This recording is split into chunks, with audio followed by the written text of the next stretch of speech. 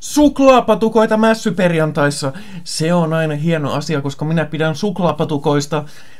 Ja niin olen, mä olen kokeillut käytännössä kaikkia suklaapatukoita, joten hirveän harvoin pääsee tekemään suklaapatukoita mässyperjantaissa, mutta tällä kertaa on suklaapatukoita, tai oikeammin yksi suklaapatukka. Tämä tuli ihan yllättäen vastaan kaupassa. En tiennyt tästä mitään. Tämä on Snickers Intense Choc Limited Edition. Oh, väärä puoli. Limited Edition. Um, mä en oikein tiedä mitä ajatella näistä Limited Editioneista. Käytännössä se tarkoittaa, että emme jaksaneet tehdä niin paljon kuluttajatutkimusta tai kohderyhmätutkimusta, niin me nyt vaan heitettiin jotain, että katsotaan sitten, jos näitä on.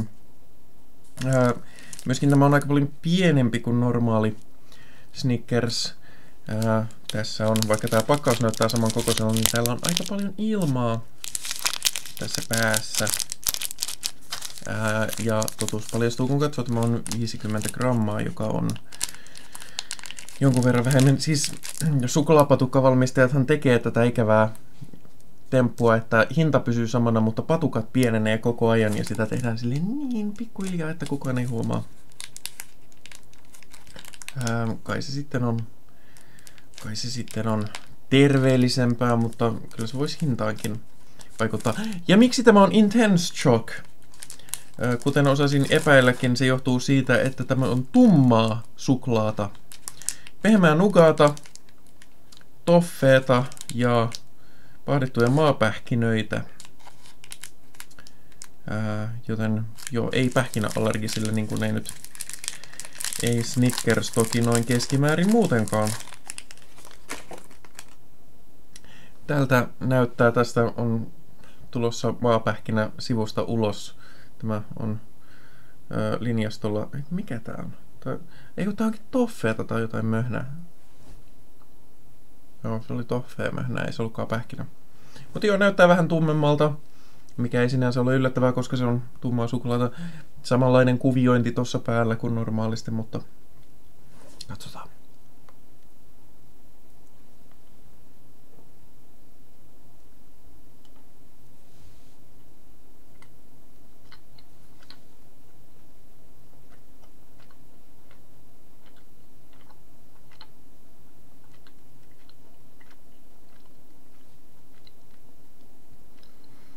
Tykkään siitä, että tässä on enemmän toffeeta kuin normi Snickersissa. Normaali Snickersissa itse asiassa on...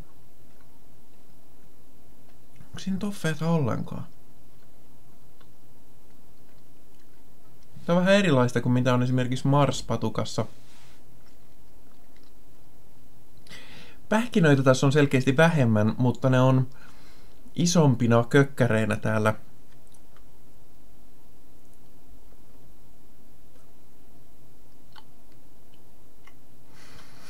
Tuo tumma suklaa jää kyllä vähän peittoon. Miten nämä prosentit meni? Tummaa suklaata 35 prosenttia. Ei siis 35 prosenttista. Suklaata itse asiassa olisi mielenkiintoista tietää. Kuinka vahvaa?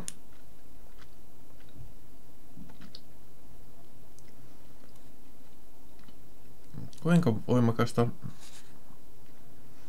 suklaata tämä on? Joskin näin kokeilun perusteella voin sanoa ei kovin. Joo. Ei paha, mutta oikeastaan suurempi eso kuin tää tumma suklaa, niin on mun mielestä tässä tää toffee.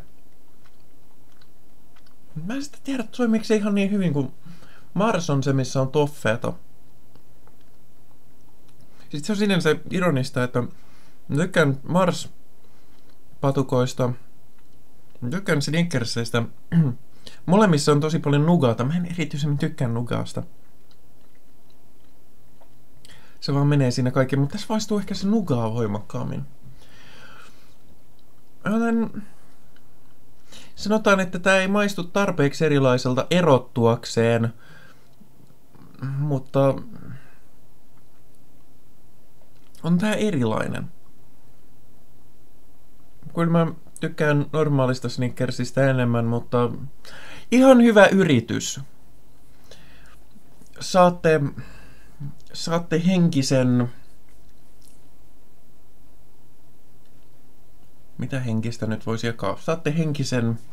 Saatte henkisen papukaijamerkin ja lottovoiton. Lottovoitot on aina kivoja.